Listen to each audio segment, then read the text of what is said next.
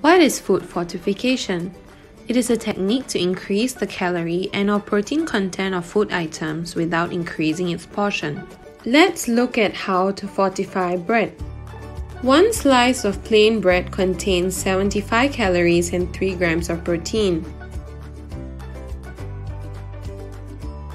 When two slices of ham and one slice of cheese is added to the bread, the calorie content is almost doubled and the protein content increases by 4 times. Peanut butter and jam is familiar to most people and it tastes well when combined together. The overall nutrition provided is almost equivalent to eating 4 slices of bread. If you're craving a savory sandwich instead, adding margarine and chicken floss is a tasty option.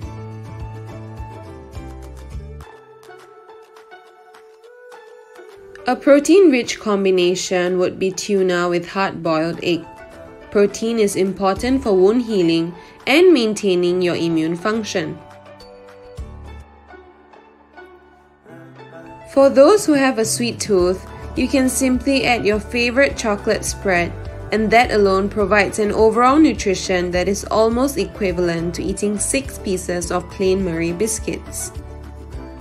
For a different flavor, you can choose to combine more than one of the suggested items together. It is important that your loved ones eat well to stay healthy and strong. For more tips on how to improve your nutrition, watch our other videos in the description box below.